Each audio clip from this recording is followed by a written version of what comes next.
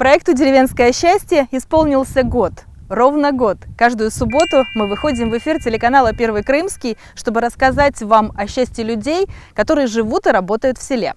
Деревенский труд, конечно, непрост, но наши герои уверены, что жизнь в деревне наполнена счастьем. За эту уверенность и за их искреннюю любовь к родной земле сегодня мы хотим сказать спасибо.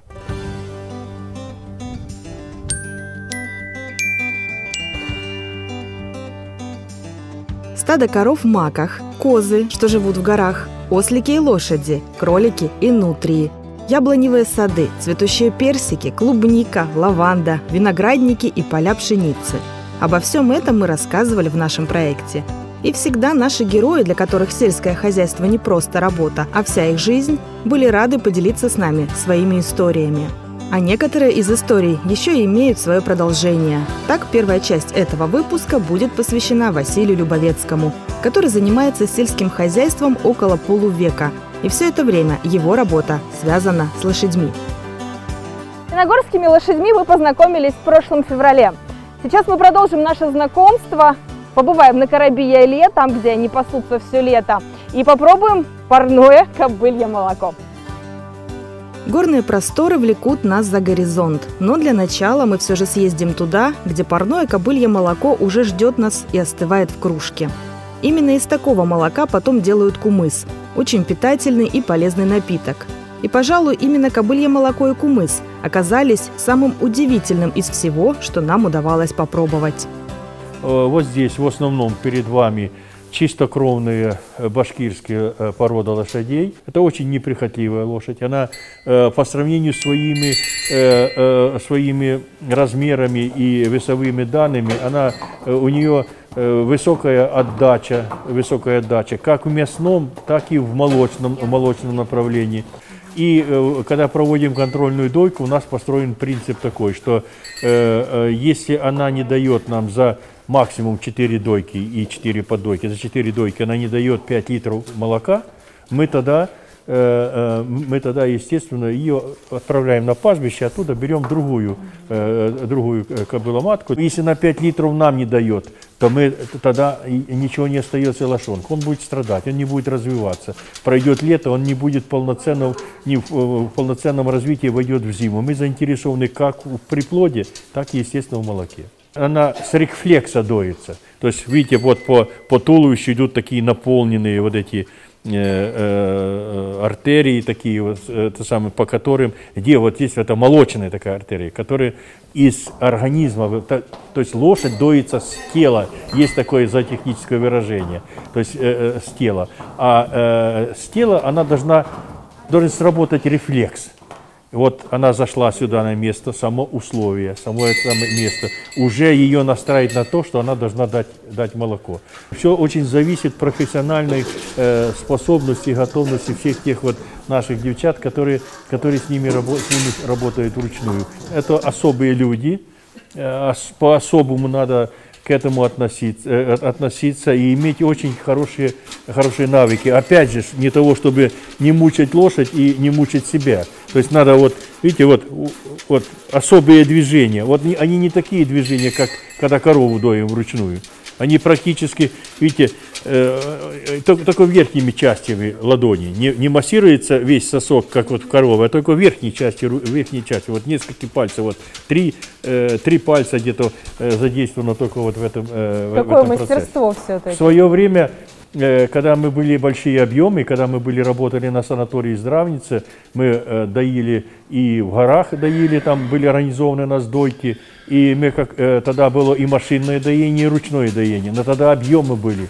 Обучаем кобылок молоденьких, обучаем, присмиряем, да, конечно. Все бывает, и по рукам бьют, и по пальцам. Ну, а так, а потом они спокойные уже приучаются к нам. Я первый раз пробую молоко. Кобылье, Кобылье молоко. молоко. По сравнению с молоком грудным женским. Женское. Чтобы вы знали. По вкусу, Оно сладкое, по оказывается. Что, да, Вот так вот. И действительно очень вкусно. Вот впервые, видите, мы были уже сюда, при, приезжали, но у нас не получалось тогда попить молока, а теперь вот получилось. И в этот раз мы свою задачу выполнили. Вот благодаря Ольге Степановне и ее коллегам. Подкрепившись парным молоком, отправимся дальше. Пока просто понаблюдаем за тем, как после дойки кобылы вместе со своими же ребятами отправляются на прогулку. Для них эта встреча, пусть и после недолгой разлуки, особенно эмоциональна. Это очень трогательная сцена. Они там издают определенные звуки, э, сразу же подбегают к своим мамкам, быстренько хотят получить определенную порцию молока. Есть одна особь, она женского, так сказать, пола, это кобылка, э, она с колокольчиком. Здесь есть жеребец, который хозяин стада. Он не только выполняет функции здесь, э, как хозяин э, стада. Одну из функций объединяют они вместе с вот этой кобылкой, которая с колокольчиком. То есть она, наверное, будем так говорить, любимая жена в гареме, да. Когда идет на пастбище, Э, и вести где-то там э, на пастбище, когда есть там места, где есть более сочная трава, лучшая трава, вкусовые качества лучше, ее просто больше, то вот эти функции выполняет как раз кобылка. Он при стаде, он охранник и защитник, кроме всего прочего, но кобылка выполняет роль ведущего. И для того, чтобы конюху-оператору проще было их находить, он послушал, а вот тронка. Причем эти тронки по-разному сделаны, она еще каждый издает звук. И человек, который постоянно работает, он даже по звуку знает, что это вот такая там кобылка, это такая-то кобылка. И сразу знает, сколько там находится лошадей. Теперь отправляемся в предгорье, где под склонами Карабия и Лы лошади паслись на свободе все лето. В прошлый раз мы были зимой, когда уже все животные жили на ферме. Их собирают с летних пастбищ, когда в лесу опадает листва. Работа эта сложная и ответственная. Здесь ее выполняют профессионалы. Они стараются, чтобы для каждой лошади этот процесс был максимально спокойным и безопасным. Здесь у нас вот это одна опорная у нас база, и вторая опорная база вот здесь в 6 километрах туда по бездорожью. Вот дорога пошла на ту сторону, э, по бездорожью туда в горах. Это где как раз и был основан Кумыс. Это село Пчелиное, э, ему дали позже это название. Это был из двух домиков был лесной кордон, там лесники там жили. А потом, э, когда подбирали место, то вот когда приехали специалисты из Башкирии и так далее, они выбрали именно там. Там особая каньон особый, там много снималось фильмов, «Всадник без головы», там «Мустанги находец», это горное, так сказать, равнина, горное пастбище его так называют. И здесь, естественно, основное житие-бытие всех тех лошадок, которые сегодня просто наращивают свое тело, растет молодняк, идет дело к зиме, у них вырабатывается в том, что у них начинает э, расти шерсть, подшерстный, покровно вырастает. Это просто вот та природная шуба, которая и э, согревает э, при морозе, и защищает от, э, э, будем говорить, от ветра. В конце октября мы собираем всех, э, всех лошадей с разных э, косяков, с разных гаремчиков, собираем их здесь и накапливаем, потом спускаем вниз. Там есть у нас условия, условия для того, чтобы каждую лошадь осмотреть сформировать из э, молодняка жеребчиков в основном до трехлетнего возраста, до тех пор, пока не наступит половое созревание, он свою мамку знает, мамка его знает. То есть поэтому будем так считать, что вот лошадь, и в нее еще два-три поколения. Это все, весь ее шлейф, вот тот, который, э, который... То есть она раз в год приносит потомство, и вот они вот до трех лет, вот до они трех постоянно два-три да, жеребенка. Да, да. Ну, два-три жеребенка, да, да. То ли это кобылки, то ли это мальчики, то ли девочки, но тем не менее все равно это э, э такой генетический контакт поддерживается. Но у них очень близкие, очень трогательные отношения. Да, и э, в том, что они в любое время дня и ночи они друг друга находят. Какую-то ласку они проявляют? Безусловно, безусловно.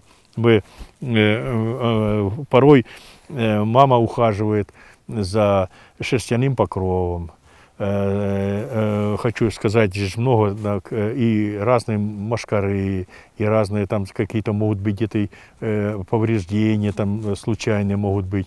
Но эту роль выполняет мама, как и среди людей. Мама эти функции. Единственное, что она в аптеку не может пойти, все остальное она выполняет. Вместе со своим же ребенком ходит и кобыла-каштанка. Она настолько приветливая и добрая, что не отказала мне в радости проехать на ней верхом.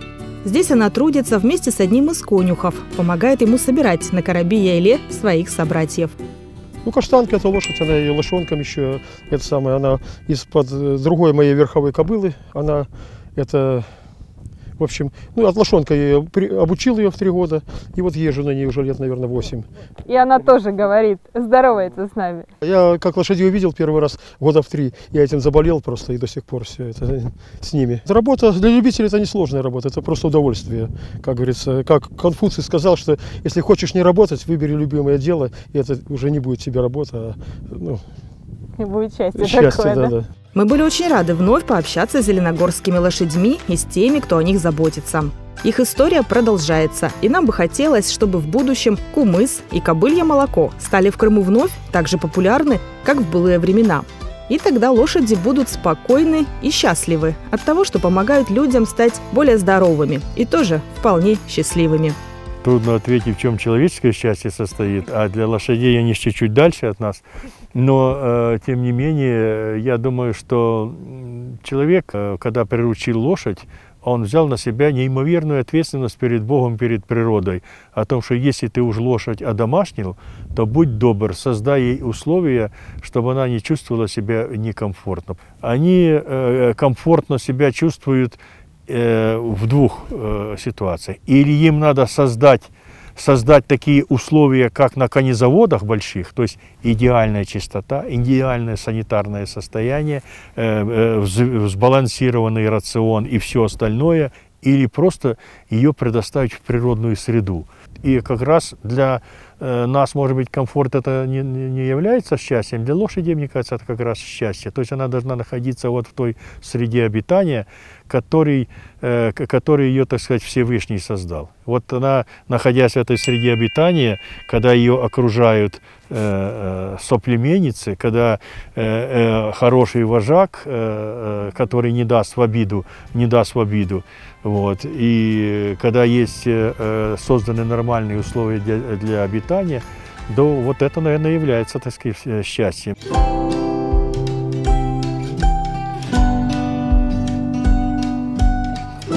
Из Белогорского района мы теперь спешим в Бахчисарайский. Там уже нас ждет вкусный козий сыр, наш старый знакомый козел Леопольд со своими белоснежными подругами, его новые коллеги по ферме, нутри и разнообразные пернатые, и, конечно, глава этой фермы Александр Исаев. Фермер Александр Исаев был в числе первых героев нашего проекта. Сегодня выпуск, посвященный его козьей ферме, не в числе первых, он просто первый по количеству просмотров на YouTube-канале Первого Крымского. И мы этому очень рады. Поэтому и приехали сегодня в гости опять, чтобы узнать, как живется в козьем царстве спустя год и какие секретные ингредиенты добавились в рецепт счастья нашего героя. Слова «у меня есть мечта» всегда могут остаться лишь словами, если не приложить к исполнению этой мечты хоть каких-нибудь усилий. Александр Исаев полностью изменил свою жизнь и начал заниматься фермерством всего пару лет назад. И можно только представить, каких трудов все это ему стоило. Но для него за словами «у меня есть мечта» всегда следует план по ее исполнению. Мечта была простая. Хотелось найти уютный уголок, хотелось э, заняться делом для души. Вот. Я очень люблю животных, э, всегда всю жизнь с ними рядом. Вот. И здесь вот э, как раз совпала такая возможность э, совместить возможности и желания. Практически все, без исключения, приходят и говорят, ой, нам бы козочку погладить, ой бы нам там что-то где-то. Вот. Ну, а сложности с ветеринарным контролем. Вот. На ферму всех подряд возить нельзя, потому что это опасно и, да и неправильно. И вот эта идея сама как бы жизнь подсказала, что нужно создать такую маленькую ферму, как контактный зоопарк. Это раньше было название контактный зоопарк. Создать эти условия для того, чтобы люди пришли сюда и в полной мере получили удовольствие от того, что э, здесь есть. Голуби, вот, э, несколько пород кур, вот, индюки, э, кролики, нутрии, утки, гуси, козы. Ну куда же без главных Ну, без, без царствующих особ? В связи с тем, что технология предусматривает периодическую замену производителей, даже в течение периода гона, вот, ну, козел устает. Конечно. Он приходит, бедолага, Работа теряя. Ну, как увидит столько сложная. женщин вокруг, и у него Да. сразу проблемы начинаются, переживать начинает, что как же так. Вот. Потом проходит время, он устает. Нужно поменять. Куда деть? Там держать нельзя. Козел, если видит стадо и загорожен, он бьется до такой степени до крови, что э, хоть связывай. А здесь в стороне, ну, кричат, вот они обижаются, слышите, что вот сюда загнали. Ну, они тут более-менее в спокойной обстановке. Потом приходит время, мы тех туда, этих сюда, и хорошо. Потом немаловажный момент, который тоже может быть обычным людям не интересен, а для нас важен. Вот. э, С учетом того, что у меня чистопородные животные, к моим козлам приезжают невесты. Вот. В общее стадо пускать их, ну, неправильно тоже. Мало ли там невеста. Может, она какая-то была э, легкого поведения, правильно? Вдруг там что-нибудь. А здесь ее вот помещение есть, э, загон есть. Козлу наладили, все, дружба сложилась, и слава богу. Теперь на ферме животных много. И если есть животные, есть и их истории. Так что идем знакомиться с новичками. Причем новичками буквально. Некоторым пернатым, например, всего пара дней. Но они непременно скоро подружатся и с общительными козами, и с остальными членами фермерской банды. Ну, простите, пожалуйста, ребят, я знаю, вам неприятно это все. Вот то, вот то, чего вы никогда не видели и не увидите. Это вот то, что в будущем будет красивым голубем или голубкой. Какая крошечка. Да, вот этой крошечке всего 5 дней. Растут они буквально на глазах. Рождаются они, вот у них яичко маленькое, рождаются они вот 2-3 сантиметра размера. Вот такие вот. Вот за 5 дней он уже, видите, какой. Динозавр. Это вот ребенок, которому уже Подросший, оперился. Уже три недели. Не топчи, не топчи брата. Вот, видите? А еще- он красивый еще- какой да, цвет видите? у него. Уже живот набит какой, видите? Да. Здесь же тоже, видите, сколько уже его накормили, бедолагу. Это утки домашние, вот, их называют или мускусная утка, или индоутка. Почему называют индоутка? Вот за шишки на, как бы, как у индюков, шишки на носу, видите? у этих? Это вот селезни, это мальчики все с такими шишками. Но они, кстати, тихо, тихо так себя ведут. А я же говорю, это куры, которые, эти утки, которые шипят, но не разговаривают. Их называют в простонародье немыми. Вот. Также представлены э, гуси, вот беленькие гуси. Это лучшая мясная порода, для, выведенная для домашнего хозяйства, называется линда. Кролики тоже сопровождали всю мою жизнь, насколько это было возможно. Не было ни одного здесь ребенка, который бы равнодушно прошел мимо кролика и не попросил, а можно на ручки взять? М, Вот что я вот на что я ручки, сейчас и Александр делаю. Петрович. И Вот я я и тоже, делаю. я как ребенок. Да, вот вам. Вот. О, Он Вот спокойный ребенок. такой, хороший. Смотрите, вам какое у нас ребенок. деревенское счастье. Хорошее. Лохматое. Лохматое такое. Расскажите, это кто? Что за порода? Это просто декоративные кролики. Вот. Они небольшие, вот они вот, это вот максимально, которые они вырастают. Вот. Значит, есть, конечно, кролики еще более мелкие. Вот. Ну, на данный момент вот представлены есть. А вы имена им даете? Ну, я нет, у нас тут дети все время. А брат его такой рыженький или сестра? Нет, это у нас мальчик, а это у вас на руках А у меня девочка. девочка. Такая Да, красивая, красивая, белоснежная. да, Будем белоснежная. звать ее Белоснежка. Белоснежка. Это основа нашего хозяйства. Вот. Здесь представлены козочки вот в данном вольере. Это аборигенные козочки. Вот. Они маленькие, небольшие, что особенно доставляет удовольствие. Когда вы приедете в очередной раз и попадете вовремя, у нас будут совсем маленькие козочки. Ну, весной малыши появляются. да нет, тут уже ходят две красотки, видите, светленьких. И мама уже точно Они такие крошки, мы сначала подумали, что они тоже еще малыши. Нет, они просто маленькие, мелкие, это карлики. Ну, здесь у нас небольшой прудик. И вот как наша вся водоплавающая братья с удовольствием здесь живет. Вот. Каждый день мне говорят спасибо. Ну, утки старшие сюда не лезли, не перелетали. Потом начала появляться молодежь. Молодежь стала пролезать через дырки и нахально обирать внутрь. Мы, мы ложим им покушать, братва бежит толпой, все это подмели. Вот. И вы знаете, какая дружба сложилась? Посмотрите. Внутри сутками Они в вместе. домике Они и- спрятались. И, ночуют вместе, и едят вместе. У них теперь полностью все сложилось. Здесь живет семья. Живет папа и пять мам. Вот у нас уже детки появились. Да. Ну, так получилось, гарем, что поделаешь.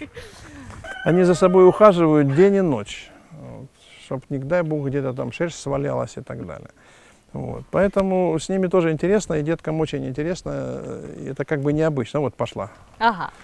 Красотка, вот она, видите? красотка тоже такая. Да, она уже, видите, какая, она тоже скоро мамой станет у нас. А мы Поэтому- заметили барышни в теле. Да, барышни у нас такие сейчас. У нас папа время не тратит зря. Отрабатывает свой хлеб. Мы в восторге от новоселов, но еще очень хочется увидеться со старыми знакомыми. Козье царство на то и козье. Голубоглазые блондинки во главе с Леопольдом, может, нас и не узнали, но приняли хорошо. Леопольд, правда, слегка вредничал, но зато с какой харизмой он это делал. Лева, ну куда ты пошел? Ну что такое? И ну, язык, видите, высунул. Видите? Ну, слышь ты? Ну, видите, шерсть дыбом, видите? Это он нервничает, потому что э, его задача основная охранять стадо. Да-да-да-да. Видите, язык высунул как? Да, моя хорошая? Вот. Вот он наш красавец. Вот самый главный отец нашего стада. Вот, вот там половина девочек, это его дочки.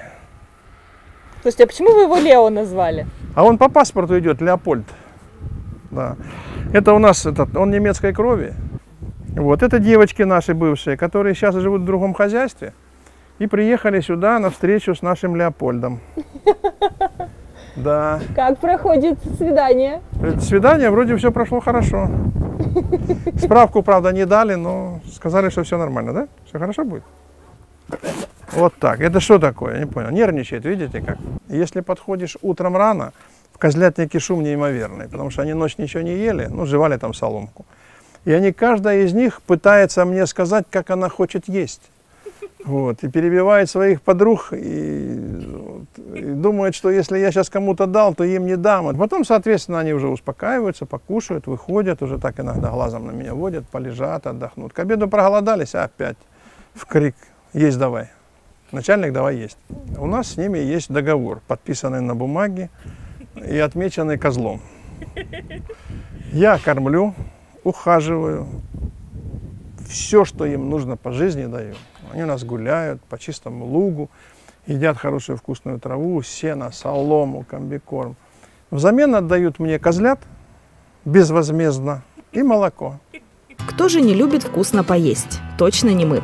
И к дегустации сыра готовы всегда. Тем более, что одна коза по секрету рассказала, что теперь сыр стал еще вкуснее. Ведь Александр Петрович за это время освоил несколько новых рецептов.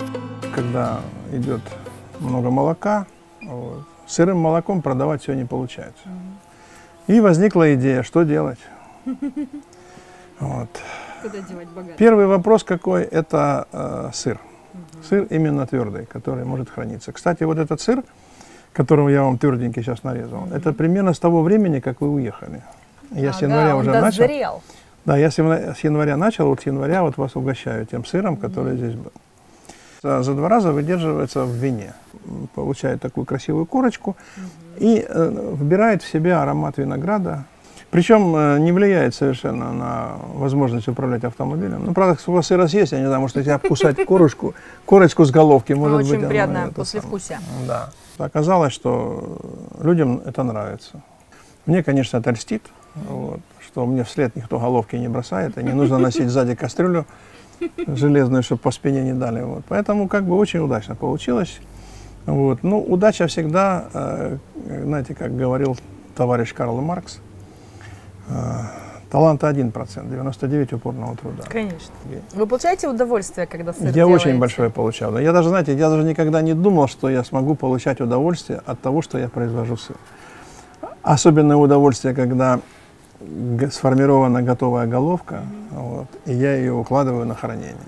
Знаете, вот я- у меня о- ощущение полета. Что вот вы я знаете, действительно какое ж- будущее Я будет. сегодняшний день прожил не зря. В планах и мечтах осваивать и дальше новые виды сыров.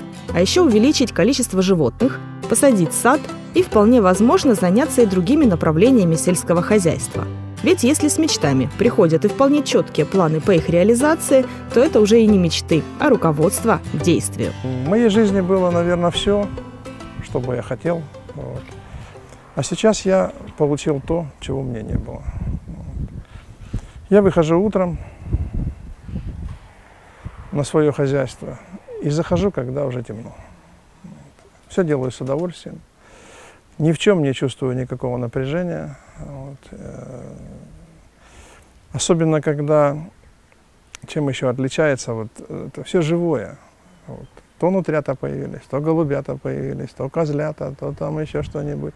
Ходишь и просто, ну, просто млеешь, просто закрываются глаза от удовольствия, как хорошо. Наше поколение было воспитано э, немножко в других категориях. Мы должны были работать, служить и бороться за счастье будущих поколений. Такая была политика нашего государства. Сейчас я имею право и считаю, что это правильно, создавать себе собственное счастье. Вот дать возможность побыть счастливым. Вот здесь э, это место, которое ограждено сеткой, вот, это мой маленький мир, моя маленькая страна. И в этой маленькой стране я хочу быть счастлив.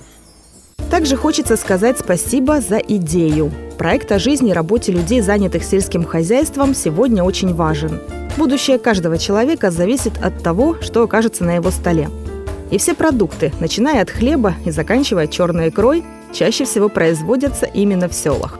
За год работы мы убедились, что все, что выращено в Крыму, это качественный и экологически чистый продукт.